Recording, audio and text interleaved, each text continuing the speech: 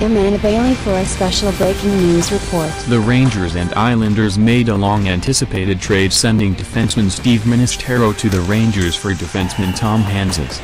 Both players scored eight goals last season.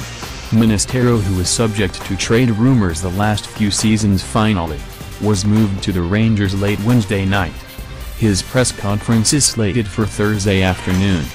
Handzus took a few days to mull over a change of address and approved a trade to play with longtime friend Dave Eckelmeyer.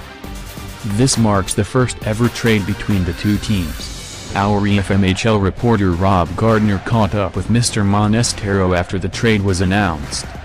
All of a sudden stay in town and handle all the media scrutiny when uh, it was the trade request was supposedly quiet and, uh, and all of a sudden some media get a, get a hold of it and uh, kind of run with it. And, and certainly uh, all the rumors and everything start flying around. And, uh, you know, it's, uh, I don't think it's ever easy. It's, I don't think ever handled perfectly, but, uh, you know, it is what it is. Questions a million times, and I've answered that question a million times, and my answer's not going to change. It's personal family reasons, and uh, that's as much as I'm going to get into it. You know, there's so many rumors. So There's always rumors, and So you're just uh, gonna let them keep floating? you know what? I'm not going to degrade myself or my family and, and substantiate or deny any rumors. It's not what's going to happen here.